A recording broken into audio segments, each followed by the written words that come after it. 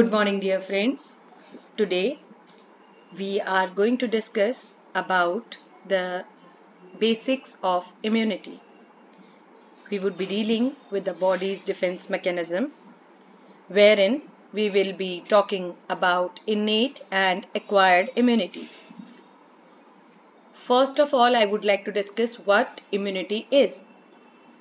So immunity refers to the different mechanisms and responses imposed by the body to protect itself against the foreign challenges or any other kind of infection.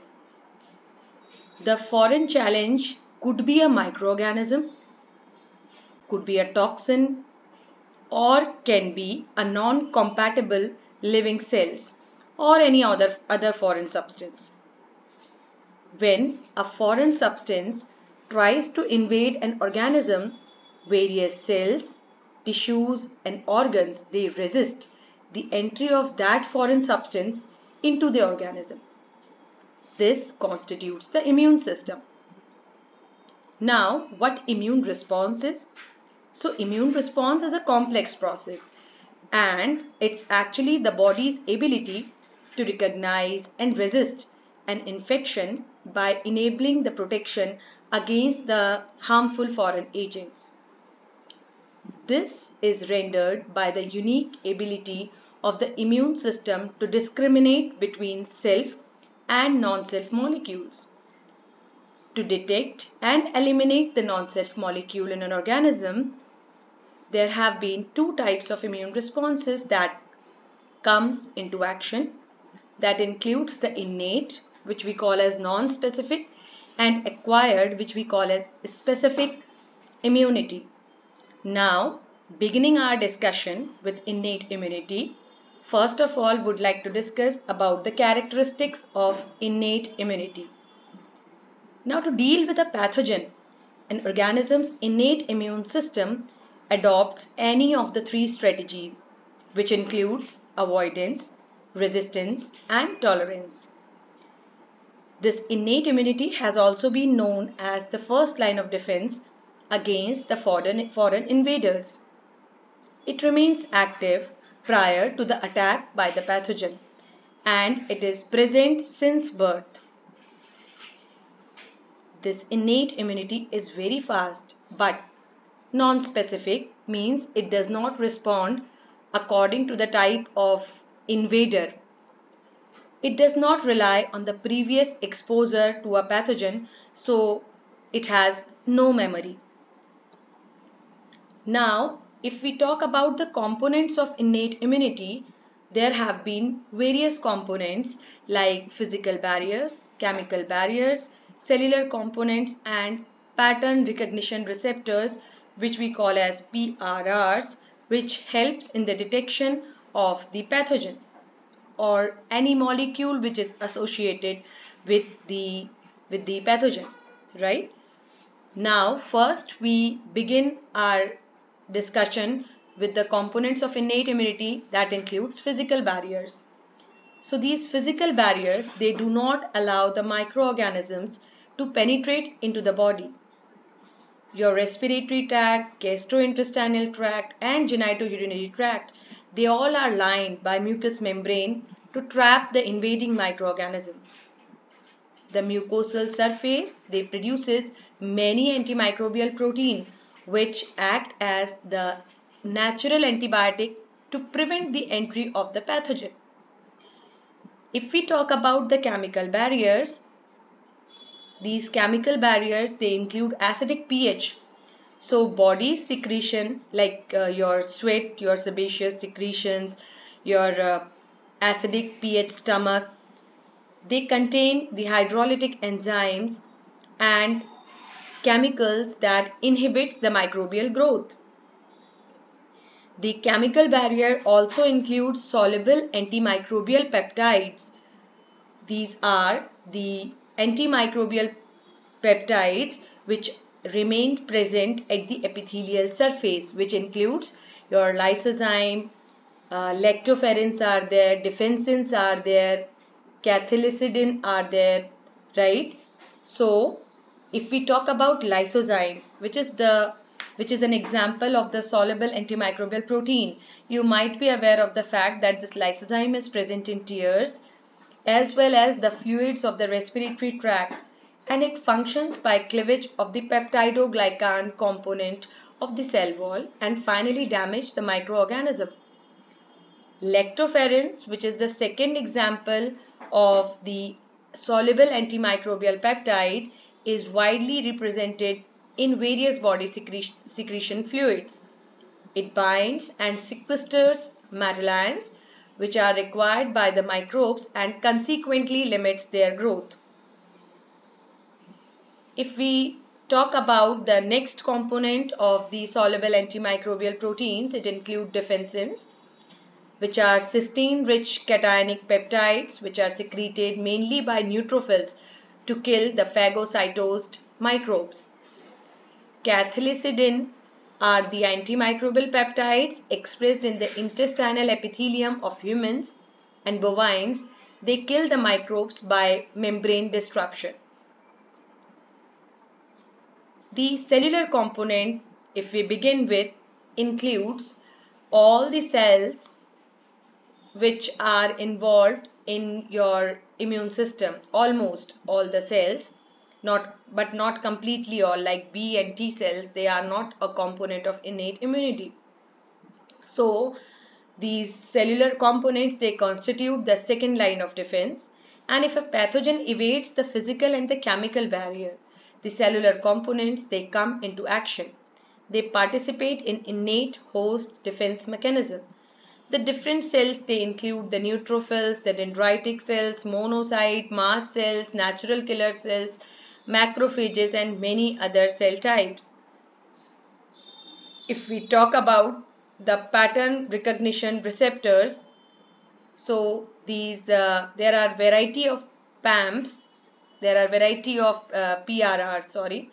These pat, uh, these uh, pattern recognition receptors they could be present. They are the pathogen associated molecules which are present on the surface of the microorganisms. Means every microbe have certain type of molecules on their surface and these molecules they are being detected by the cells of our immune system and we call them as pathogen associated molecular patterns.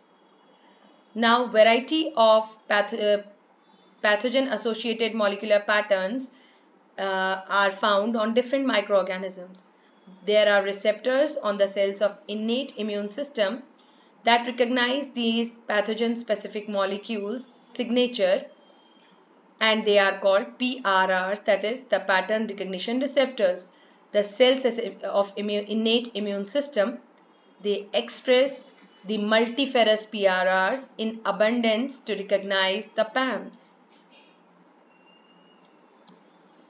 This uh, diagram help you to understand the various components of the innate immunity which has categorized the components of innate immunity into four major types and subtypes have also been discussed here which will help you to understand the different components along with their subcomponents in detail.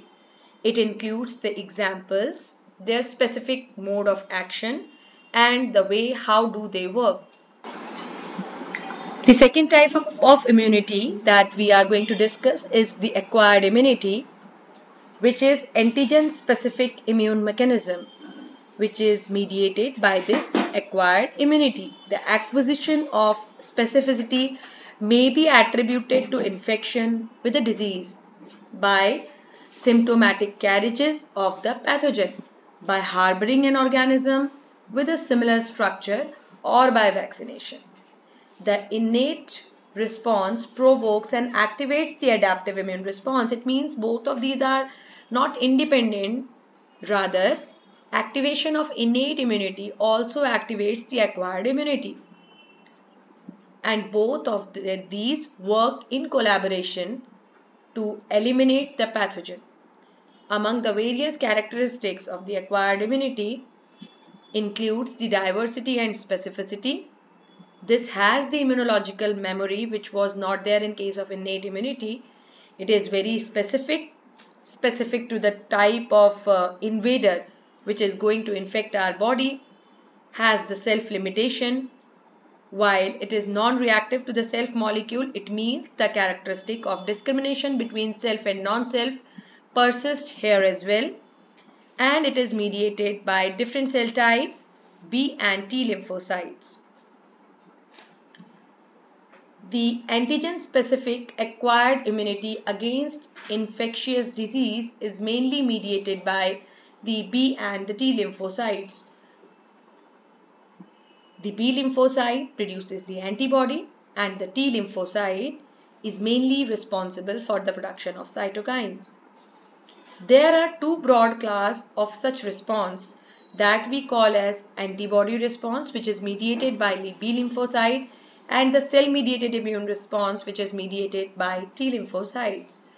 The immunity mediated by these two factors may result in direct effect upon the pathogen such as the antibody mediated uh, complement lysis. There could be opsonization and killing as it occurs for some bacteria there could be neutralization of viruses to prevent their entry into the cells or there could be T lymphocytes which can kill the parasitized which can kill the cells parasitized by a microorganism. So these are the two types. One mediated by B cell where the immunoglobulins that is the antibodies are produced and the other which we call as cell mediated immune response which is mainly mediated by T cell and produces the cytokines. Now there have been different types of uh,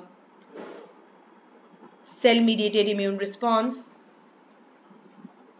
The acquired immunity could be of various types. Uh, first, it the type we had discussed just before, the humoral and cell mediated, is based on the types of cell involved Second type is based on the activation that what type of cells are being activated. We classify the acquired immunity based on activation into active immunity and passive immunity. So active immunity is developed by exposure to a pathogen while the passive immunity is developed when someone receives the antibody. This diagram help you understand the better the different types of the immune system and their subtypes, uh, better different types of acquired immunity and their subtypes. So the first classification here you can see it is the based on types of cell involved that is humoral mediated by B cell, cell mediated mediated by T cells.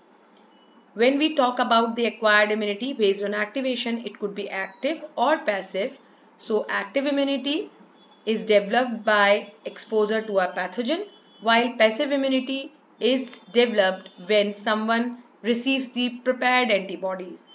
Now active immunity could be further categorized into two subtypes natural immunity and artificial immunity which includes natural immunity includes that the immunity could be acquired because of the antibodies developed in response to the infection while the artificial immunity being given by vaccines However, the passive immunization could also be of two types, the natural and artificial. Natural includes the breast milk, colostrum received by the baby, which is uh, which is a secretion of the prepared antibody and supposed to be very healthy for the newborn.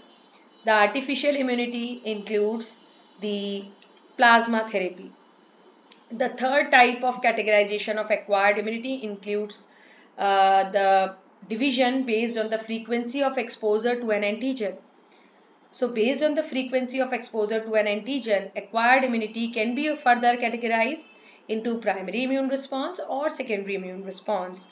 The primary immune response refers to the first exposure. As the name suggests, primary, it is the first exposure of an antigen to the host that leads to the formation of uh, antigen specific B cells and T cells replication. They produce effector cells and long-lived memory cells. However, the secondary immune response develops on encounter of the same antigen. The antigen can mount a more rapid immune response, an effective one, right? So when we are talking about the primary immune response, it means the antigen has got encountered into the body for the very first time and it will lead to the formation of antibodies and uh, form activation of T cells but the the effector cells they will be in normal in number and they will have memory. While in secondary immune response the memory which is captured by the primary immune response is already in the storage. It is already in the uh, in the cells of immune system. So the moment they encounter the same antigen for the second time they are going to mount a very rapid a very effective and a heightened immune response